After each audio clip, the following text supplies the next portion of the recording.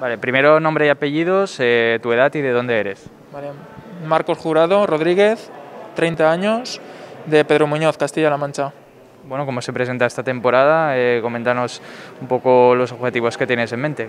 Sí, pues bueno, con muchas ganas y mucha ambición, sobre todo también de cara a que parece que las circunstancias de la pandemia nos van a dejar también tener una estabilidad y una certeza mayor respecto al calendario, entonces nos proporcionará mayor seguridad de cara a preparar objetivos y no y no improvisar como teníamos que improvisar el año pasado porque había mucha incertidumbre y mucho desconocimiento. Y bueno pues entonces por tanto mi objetivo es también aportar lo máximo al equipo tanto a nivel personal como profesional y bueno, también de cara a, tratar de luchar por las victorias en aquellas competiciones en las que tenemos mayores opciones.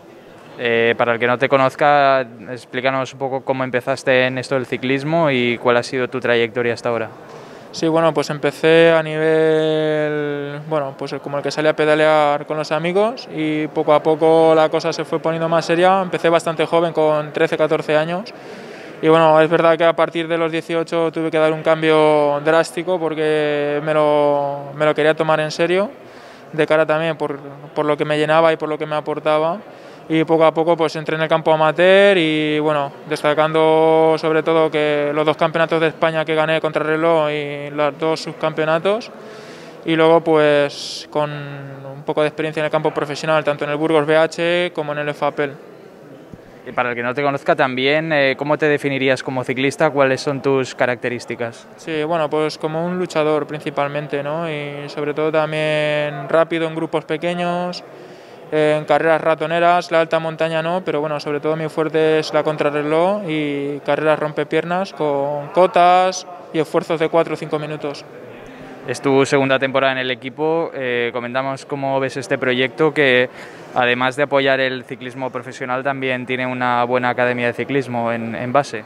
Sí, pues sobre todo, eso, como tú bien lo has definido, tiene ambas partes, ¿no? Tiene el proyecto profesional y tiene la parte, la parte de apoyo al deporte de base que es muy importante, sobre todo para ya no solo que los chavales que empiezan en edades tempranas puedan tener una oportunidad en el campo profesional, que está muy bien, porque estaba, era algo de lo que estábamos faltos en, en España, sobre todo, también por mi bagaje personal puedo hablar bastante de ello porque, por ejemplo, en mi edad entre 18 y 25 años no había apenas oportunidades para ser profesional, había muy poquitas.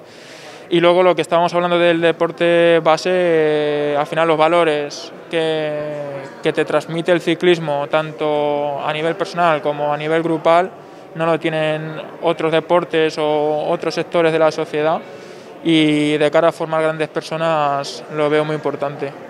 Bueno, desde aquí suerte para esta temporada, que también acompañen lesiones, que acompañen la salud y que podamos tener un buen año 2022. Vale, muchas gracias a vosotros.